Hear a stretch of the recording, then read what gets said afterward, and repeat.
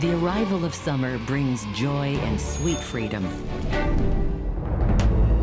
But back in the 1930s and 40s, Americans dreaded summer because this was the start of polio season.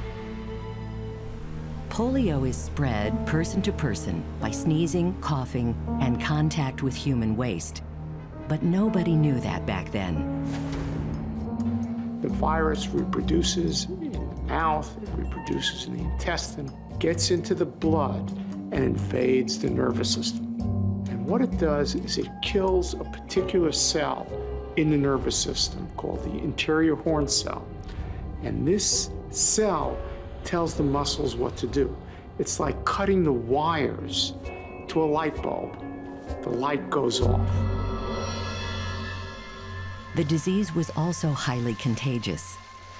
Polio would spread silently and then pick out its victim and continue to spread silently, pick out another victim.